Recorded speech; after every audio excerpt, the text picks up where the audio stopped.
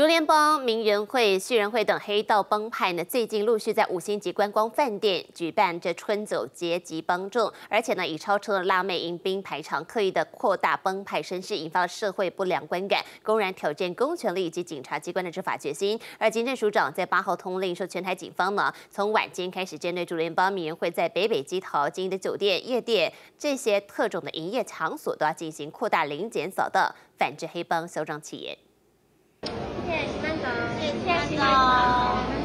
男子一身黑西装，走在红毯正中央，高开叉的旗袍辣妹两边一字排开，鞠躬提醒小心慢走，因为人数太多，红毯甚至还得排成么字形。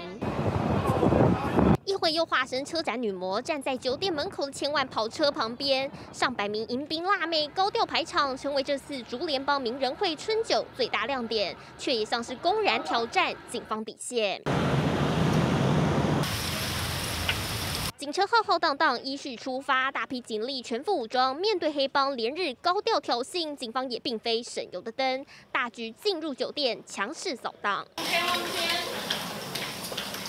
来，多往前，多往前面，多往前面，不要讲话，我都不要讲话。酒店小姐被带出来排排站，这回可不是用来迎宾，而是要配合警方乖乖盘查。远警逐一盘查，针对店内每个员工、顾客，全都不放过。你如果放任，哦，放任他们在在这个营业场所或外面，哦，发生问题的话，我们会实施强力的。针对帮派嚣张气焰，警政署下令针对北北基桃帮派经营行业扩大零检扫荡，尤其名人会为重点对象。北市警方九号晚间针对仁堂在台北中山、大安、松山、信义经营的共十六家酒店夜店大肆零检，展现打击犯罪强烈决心。